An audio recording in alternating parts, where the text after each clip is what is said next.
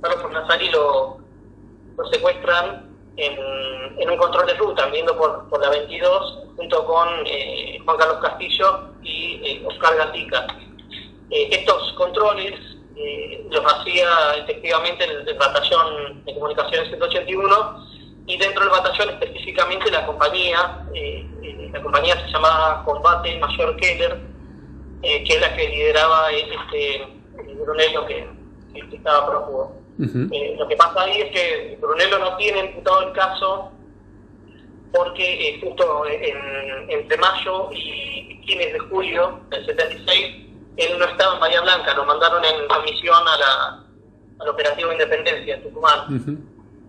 Claro, pero sí, o sea, el caso lo, lo tenemos requerido y de hecho ahora, eh, en, en, febrero del año que viene, arrancamos un, un juicio nuevo, que es un tramo de, de, la causa Ejército de Bahía Blanca, en la que vuelve a entrar el caso de, de Catriel, ¿no? las tres víctimas por otros imputados, eh, incluidos imputados del batallón. Eh, Pablo, en este, en este sentido ya hay dos sentencias firmes, ¿no? Con respecto a esta causa de Catriel.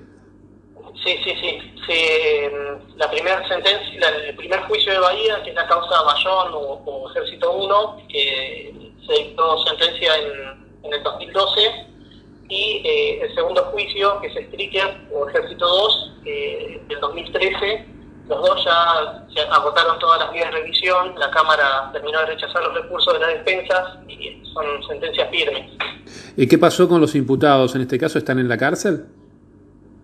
Mira, eh, de todos los... Nosotros acá en Bahía tenemos eh, cerca de 100 imputados. Ajá. Eh, condenados son, no tengo el número ahora, pero serán entre 30 y 40, poco más, eh, y de prácticamente ya no tenemos imputados en cárcel. Eh, los que están con prisión preventiva o ahora con condena eh, están en la casa por, por, la edad, no están con domiciliaria y con, con pulsera, con dispositivo electrónico. Uh -huh. creo que tenemos de, de ese total uno o dos imputados en, en cárcel. Uh -huh y ahora sumado Brunero, que, que, está en la unidad 34 del Servicio Penitenciario Federal, eh, y que le van a hacer una, una revisión este, del cuerpo médico forense para ver si está en condiciones de quedarse en la cárcel o, bueno, la defensa hará los, los planteos que, que estime corresponder. Eh, y en el caso de, de Pablo Fornazari, eh, se constató dentro de la causa de que él estuvo en un centro clandestino de detención, ¿es así, no? Sí, sí, sí. El, el hecho de, de Fornazari, el, es, es el siguiente, el, lo que se constató, digamos, uh -huh. ¿no? Eh, esto fue el 25 de junio del 76.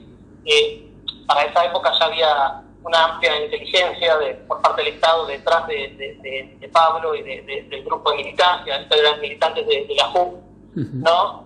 Este, y el, el, 25 de junio venían circulando eh, hacia la ciudad de Bahía Blanca por la ruta 22 eh, y muy cerca de la ciudad los para un retén de, del batallón. Eh, Pablo reconoce a, a, un capitán que estaba a cargo del operativo, que es Otero. Otero está condenado por el, por el hecho de, de, de Fornazari. Eh, y eh, los militares encuentran que en, la lista que tenían ahí de personas a detener estaba el Juan Carlos Castillo, ¿no? Entonces uh -huh. los detienen a los tres, se los llevan para el batallón de comunicaciones, así los, los interrogan bajo tortura, y a, a, dos de estas personas, o sea, eran eh, Castillo, Fornazari y Gatica, a, tanto a Castillo como a Fornazari los sacan del batallón y se los llevan a la escuelita, uh -huh. que es un centro clandestino que estaba eh, ahí en el mismo predio de, la unidad militar, pero eh, un poco más alejado, una casa de campo, ¿no? Bueno, en la escuelita es donde eh, tenían a la gente vendada, tirada en el suelo, prácticamente desnuda, y donde, bueno, aplicaban todo tipo de torturas, pican eléctricas, colgamientos, submarinos, digamos, la, las torturas más, más explícitas, más intensas, eh, las aplicaban ahí eh, a Fornazari y a Castillo, bueno, se lo llevan a la escuelita. Eh, un mes más tarde secuestran a otros militantes desde de la JUP, que, son eh, Suma Martin y Mario Tapchisti. Esto es el, entre el 19 y el 20 de julio del 76. Y todos los cuatro están en, la escuelita hasta eh, el 4 de septiembre del, del 76, que los retiran del lugar eh, y lo que hacen es montar un, operativo, la puesta, la puesta en escena de un operativo, un supuesto enfrentamiento con, la, con las autoridades. esa era una forma muy utilizada acá en Bahía Blanca de, para hacer aparecer la, la gente que iban a asesinar, ¿no? O sea, a ellos los, asesinaron, los llevaron a, a, una casa eh, que está ubicada en calle Catriel, que es eh, un barrio de un barrio que se llama Paligüe Chico, de acá de, Bahía Blanca, que en ese momento era una comunidad básicamente de, chilenos, una, una villa miseria, que estaba junto a un arroyo, y en donde en aquellos años había muchos exiliados de Chile y eh, muchos grupos de militantes que hacían actividad barrial.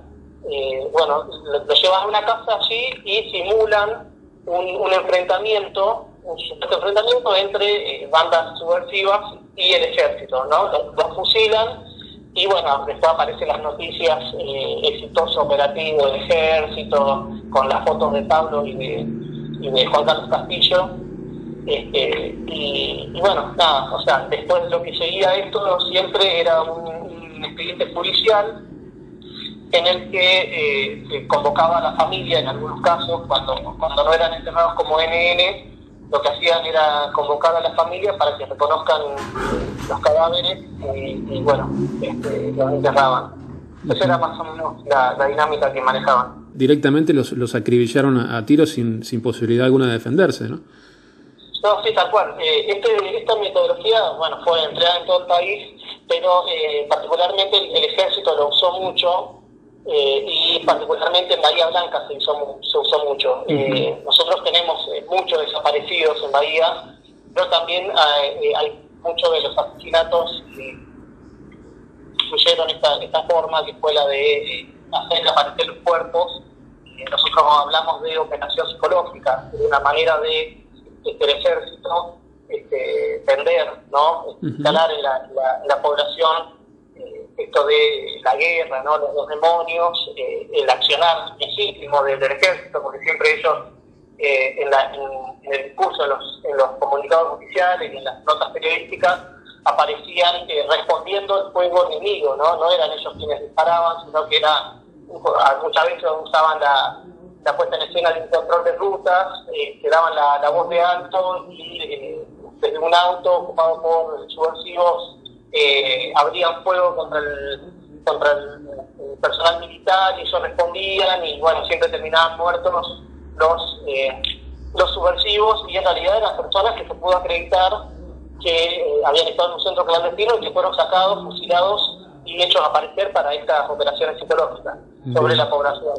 Además, esto está probado con pericias que se utilizaron este, que determinaron que se trató, o sea, por la, por la dinámica, por la forma en que se recibieron los disparos y cuestiones técnicas, que se trató de, un fusilamiento, ¿no? Este, y te cuento al respecto que eh, nosotros, en, uno de los juicios que se realizó en Bahía, en los posteriores también, venimos solicitando eh, una, o, mejor dicho, planteando una réplica colectiva para que eh, en, el diario La Nueva Provincia, que es el diario, el monopolio mediático acá en Bahía Blanca, eh, se, publique la, la, verdadera versión de estos hechos, porque justamente como vos decís, en la historia, ¿no? los registros oficiales de la historia de Bahía Blanca, como en tantos otros lugares del país, eh, la versión que quedó es esta de los enfrentamientos armados.